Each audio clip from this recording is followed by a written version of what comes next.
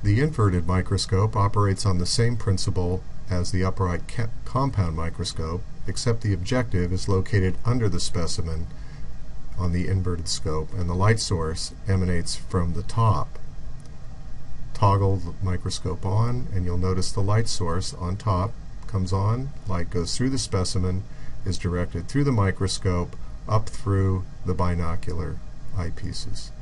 Light intensity can be controlled by the rheostat, coarse, fine focus, and stage control are also available.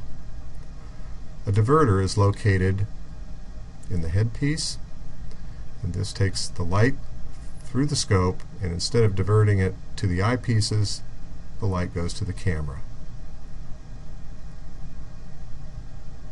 The inverted microscope can also be operated in epifluorescence mode. Here, the light emanates from an LED unit through a cube up to the specimen, reflects back down, and the light can be directed to the camera or eyepieces. Note the shutter. Always keep the shutter open.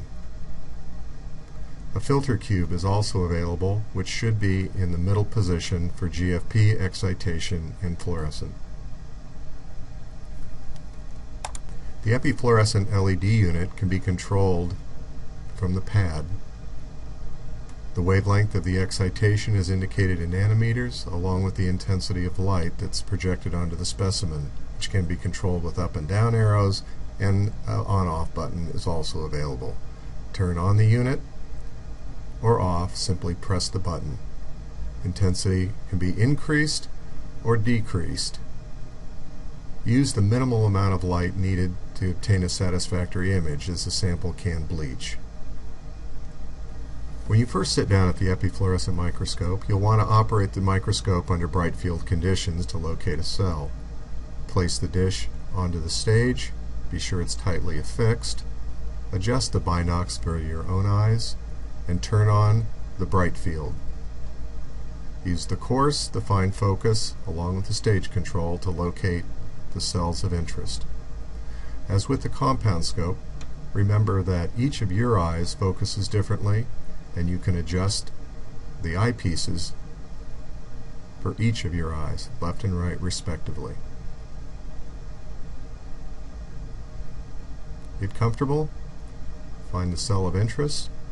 Once you've found the area that you want to examine with fluorescence, what you're going to want to do is turn off the bright light.